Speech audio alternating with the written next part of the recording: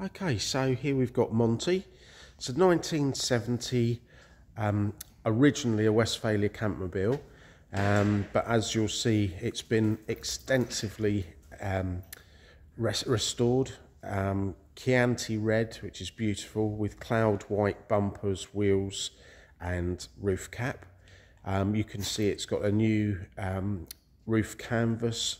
Pretty much everything is new. A fortune's been spent and beautifully done. What I'm going to do first of all is just take you around um, as I normally do. Um, you can see as I'm going in closely, you've got chrome windscreen wiper arms, which are really lovely. Um, old-fashioned raised um, letters on the number plates. So again, really just, just the detail, like the chrome caps on the bumpers. Um, but if we come back to where we were, having a look underneath the windscreen, you can see the the um, rubbers are all nice and supple. Come around here, all the bright work is beautiful. All the seals have been done. We've got the Westy louvered window there. And then there's a quarter light there in the rear window. If we come round to the back again, you can see nice and supple. And there's his name. Up on the top uh, is the spare wheel, so it doesn't get in the way inside. Uh, again, oh, let's just close the door a minute, just so we can concentrate on the outside.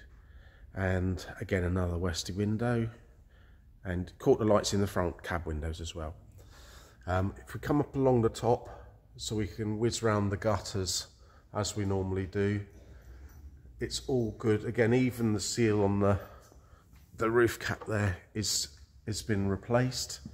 Um, done a few years ago, but oh, lots and lots of receipts, and it's been cared for so well. Um, if we then come down on the front panel itself, see again the old-fashioned AA badge. see beautiful paintwork, and then we'll come around here onto the driver's door. You can see everything is as it should be. No bubbles corrosion anywhere. Come down along the sill. You can see how how lovely the paintwork is. Up over the rear wheel arch there's my little mate Reg get in the picture. And you can see again how straight that is by the reflection um, if we come round to the battery tray levels it's all good. You can see the stainless pipe under there. Um, and then if we go along the bottom of the engine lid and the bottom of the rear hatch it's all perfect. No issues and you'll be able to see probably more in my photographs because um, with the video on it's it's not got the light shining. But even the stainless fixings in there everything's everything's really lo lovely. We come round onto this side. Again battery tray level is all good. Got the Volkswagen um, mud flaps. Stock wheels with nice um, and correct hubcaps. Uh, you can see like the seams. Everything is as it should be. Again we'll look over that wheel arch along the sill along the bottom of the sliding door and up to the swage line and then onto the front door there. Again everything is as it should be.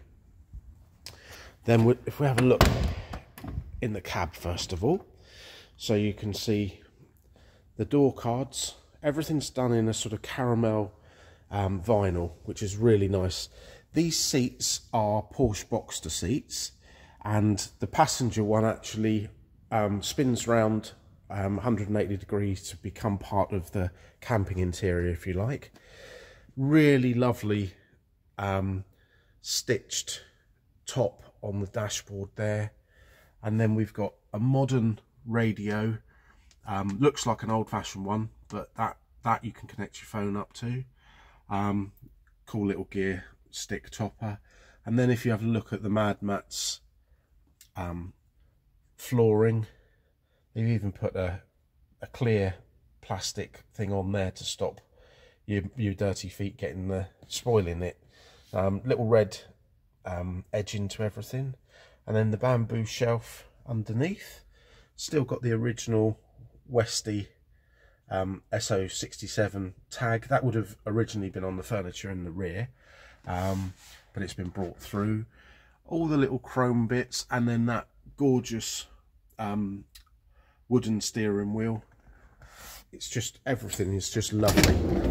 Open the sliding door to reveal the Vanwurks interior, which we've got receipts for that I think on memory, I haven't got the receipt next to me, but I think it was about six grand for the interior, which I think included the rock and roll bed uh, at the time as well. Um, you've got the table up the back there. There's a couple of accessories in the back, which I'll again show in the photographs.